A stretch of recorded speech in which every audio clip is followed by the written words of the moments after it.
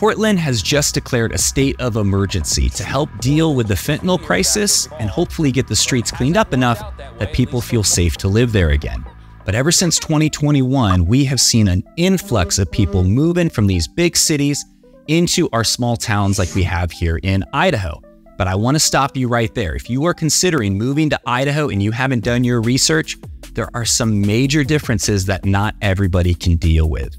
I'm serious when I say this that we have had a lot of people move here to North Idaho and down in the Boise area, and after just one year decide this is not the place for me and they're looking for a new place to live. I really hate to see that happen. So, in this video, we're gonna go over the basic differences, some major differences, what people really like about living here, and what they really don't like so hopefully you can avoid making a huge mistake, having to pack up and move again in a short period of time. And before we get started, guys, I just want to say what's going on in places like Portland, Seattle, LA, San Francisco, Chicago, New York, and many other places in our country is breaking the hearts of a lot of Americans, mine included. I have family that lives near Portland. I have friends that live in Portland. It used to be one of my favorite places to visit, and that's just not the case right now. But there's a lot of division happening in our country, and that is not what this video is about. At the end of the day, we're all Americans, and I'm just trying to do my part providing the information to people so they can decide if this is a place they could live or not. So, with that said, let's dive in. First thing we're going to look at is the population difference between Portland, Boise, and Coeur d'Alene. Obviously, there's other places to live in Idaho, but these are some of the most common areas in Idaho. And if we look over at the map, you can see North Idaho, you have Coeur d'Alene, Kootenai County, all the towns up here. And then down further south, you have Boise, you have uh, basically Treasure Valley, you have a lot of towns down there. So in Portland, you have about 650,000 people. That was back in 2021. I'm not sure what it is today. Uh, down in Boise, you have 250,000 people with a combined 800,000 people in the Treasure Valley. So it's much more comparable to the size of Portland.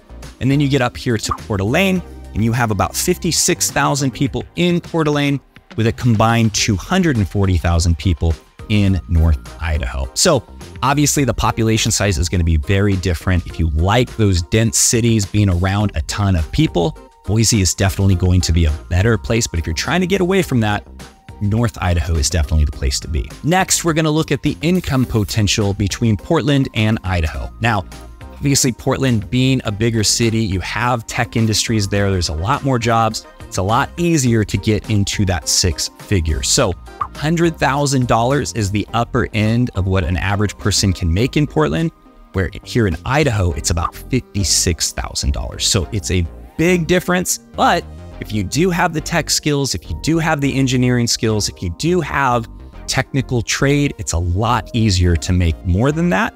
It's just a lot of people here in Idaho are not well educated, they're not well experienced, and there's just not a ton of those jobs to offer. So there's definitely some competition for good jobs, but for entrepreneurs, I will say it's very, very business friendly. We'll talk a little bit more about that in a second. Next, we're going to look at the cost of living difference between Portland and Idaho. According to payscale.com, Portland is 24% above the national average. So, for those of you living there, you know it is not the cheapest place to live.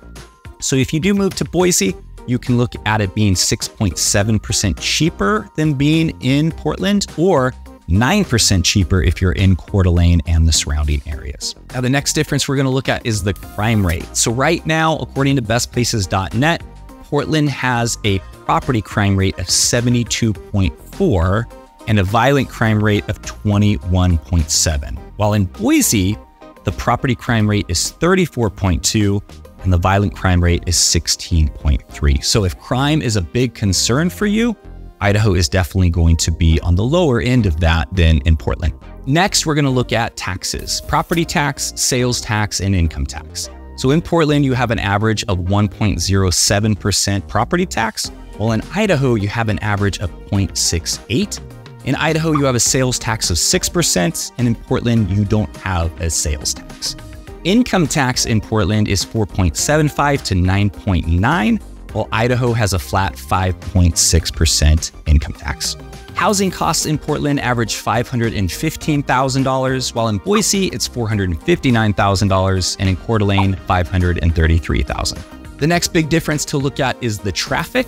According to CBS News, Portland is the 16th worst place for traffic in the country, while Boise ranks 26th, and in North Idaho, it wasn't even on the charts because we just don't have that much traffic. So that wraps up the basic differences. Now let's dive into the major differences and ones that most people do not anticipate.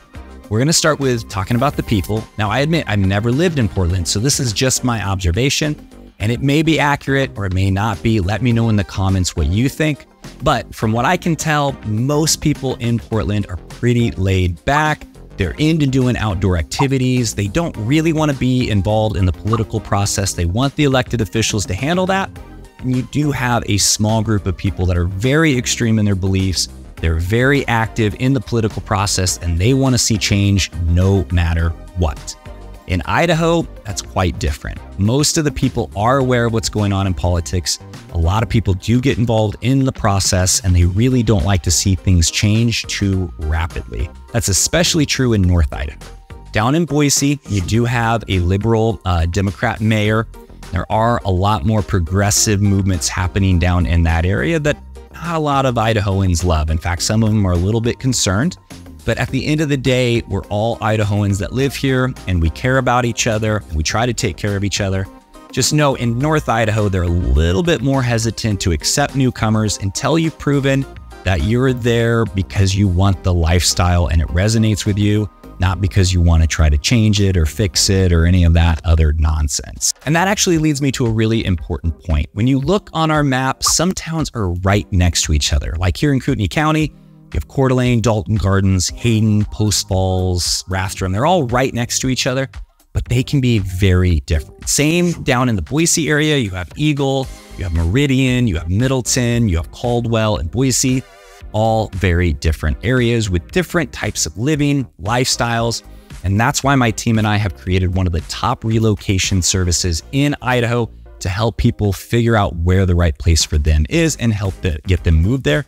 So if this is you, feel free to reach out with a phone number, email, or text for your own private consultation. We can help answer any questions you might have and help you figure out where the right place is. So feel free to reach out anytime. The next huge difference is the weather. Now, one thing I love about Portland, it's super green because you guys get a lot of rain and overcast. Well, we definitely get rain and overcast here in Idaho, but we also get some pretty gnarly weather. Summers can be really hot in the triple digits, about 100, 105, sometimes 108 for a couple of days. And then in winter, we can actually dip into the negative numbers. So this place definitely has all four seasons, and that is not for everybody. You really need to know yourself and know can I deal with that? Do I know how to take care of myself in those kind of conditions? You can watch this video right here.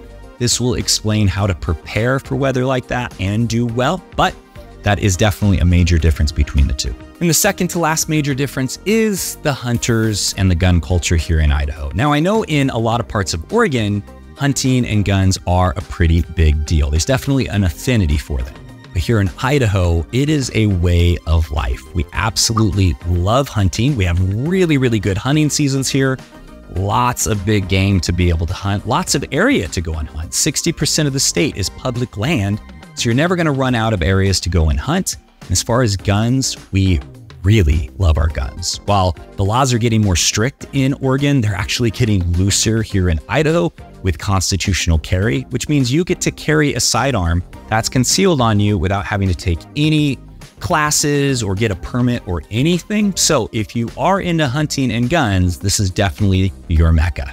And the last big difference to consider, especially if you have family members that are in school, Oregon actually ranks 46th in the country for their education, and Idaho ranks 36th. So, even though a lot of videos I talk about how our education isn't too great, it's actually doing pretty well in comparison. So, those are the basic and major differences between Portland and Idaho. Next, we're going to talk about why people really like living here. We're going to finish with why some people really don't like this place and end up leaving. So, the first thing that people really like a small town feel. Almost anywhere you go in Idaho, you still feel like you're in kind of a small town. People will smile at you. they're friendly, they're generous, they're polite. Now, people are people, so you're still gonna run into jerks. What's your problem, schmuck? I'm an inconsiderate prick! Ah! You're still gonna run into rude people, but overall, I mean, the majority are very, very friendly. And I've been in this area for 32 years and I travel quite a bit. And I can tell you there is definitely that small town feel here. There's also a ton of outdoor activities. Now, I know in Oregon, there's also a lot of outdoor activities, but here it's really close by. So when you're in Portland to go to a really good ski hill, I mean, you're talking about an hour and a half, two hour drive. And here you can literally go to five different mountains all within one hour. And you can get to tracks and hills and uh, walking trails and hiking trails all within about 10 minutes here in North Idaho. Down in Boise, you have the green belt, you have walking areas, but if you want to get to the forest, you got to go about 45 minutes to an hour. It's definitely, I mean, it's a valley, right? Treasure Valley. And so, again, in Idaho, though, almost any activity you want to do outdoors, we have it. Next thing people really like about Idaho, it's pretty even keeled. There's not a lot of major changes that are happening. It doesn't flip flop between Republican, Democrat, and there's all these different agendas happening. It just is steadily doing its thing over the years. Now, yes, it has changed since I moved here because people are moving here, but there's still a lot of the same restaurants, still a lot of the same businesses. And yeah, they're expanding the highway, but there's just not that much change. And for some of the cities that are going through major change, this is a breath of fresh air for a lot of people. And like I said, the locals are pretty dang friendly. So, with that combination of having a pretty even keeled area with friendly people, it's really easy to call this place home. We also have a lot of the wild animals, like I was talking about in the hunting section, and they will just roam through neighborhoods. I mean, I, I live in a suburb, I live in an HOA and we get foxes. I have rabbits in my yard. We get raccoons, sometimes deer and elk. It's just a pretty dang, I hate to use this word, but magical place. Uh, and same thing down in Boise. Lots of elk, lots of deer. I mean, it's a major city, so you're not having a ton of that happening in town, but there's lots of towns in Idaho that you see a lot of wild animals. Another thing that a lot of people like is we have a strong police presence. The police are involved in the community, and there's really a strong trust between the community and the police force. We support our police, and our police support us. I know that it became pretty popular over the pandemic to start chanting defund the police, and I get it. There's some pretty corrupt cops up out there. They definitely have overreached their authority in some areas, but here in North Idaho and down in Boise and throughout Idaho, the police are pretty loved here. And like I said before, Idaho is extremely small business friendly. Uh, they really make it easy to get a business started, and they're not going to tax and permit you to death just to get rid of you before you even get started. I've heard a lot of complaints about major cities like Seattle and down in California and New York. It's just a pain in the butt to try to start your own business. Not here in Idaho. They're very supportive. So, lastly, we're going to talk about the things that people really don't like and it causes them to leave. The first thing is our long winters. We can have some really, really challenging long winters. Uh, I just made a video talking about the severe winter storms that can happen and how to prep for those. We just went through a period where it was minus 16 plus wind. So more like minus 24 with the wind chill. That's no fun. That's hard for everybody. There were a lot of buildings that got messed up from that. But that's kind of the adventure you take when you live in Idaho. If you don't like the weather, you wait 15 minutes. That's kind of our slogan. Uh, it's awesome during the summer. You've got a nice, long, beautiful uh, summertime, but once fall hits, you definitely feel it. And then once winter gets here, you better be uh, bundling up and staying warm and figuring out what to do because getting stuck indoors is no fun. One thing that some people really like and other people really don't like is we have a really small government here in Idaho.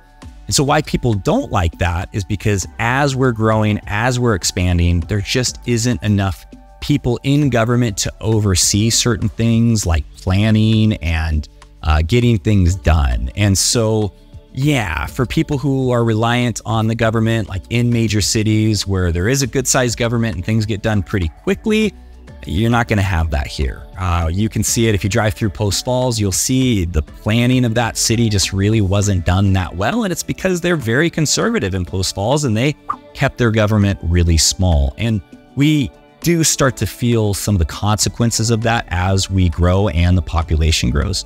But the benefit is is that you don't have bureaucrats breathing down your neck. They're not trying to make a bunch of money through building permits and issuing fines and fees. And so, you know, you take the good with the bad and the bad with the good. At the end of the day, it just depends, I guess, on how much you are okay with it being a little bit slower and progression taking a little bit longer versus having really high taxes and bureaucrats that can basically ruin your life. There's not a ton of entertainment throughout Idaho. Boise's a little bit different. You've got comedy clubs, you've got concert venues, you've got the Boise Broncos down there playing football.